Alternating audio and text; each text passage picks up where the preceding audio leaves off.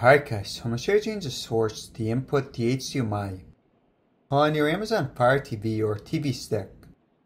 Now there is a difference, so either your TV has Amazon Fire pre-installed for your UI, or you have an attachment like the Fire TV stick. Now first step for UI is Fire TV. When you press home, you see if you go to the left there's inputs. From here you can press down and switch inputs here. Another way is if you hold home or press the gear icon. Then over here you have inputs.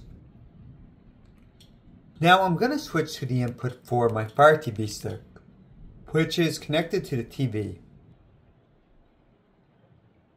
It looks similar, but this is the Fire TV stick. You notice there's not the option here for inputs.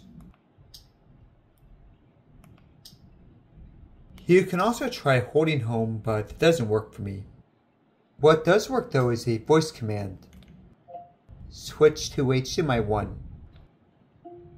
Okay. Alright guys, hope this helped out.